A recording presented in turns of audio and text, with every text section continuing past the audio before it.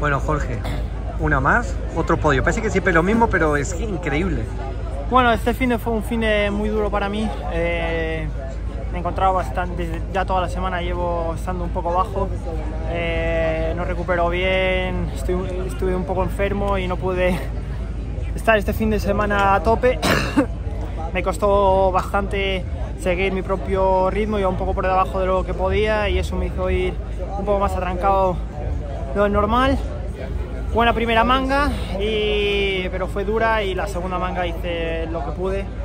Aguanté la cuarta posición, segundo el Gran Premio, bastante bien para el campeonato y bueno, eh, no se puede ser el más rápido todo el fin de semana, así que bueno, eh, poco a poco y el campeonato que es lo más importante se ve muy bien, así que nada, siguiente Turquía. Venga, seguir.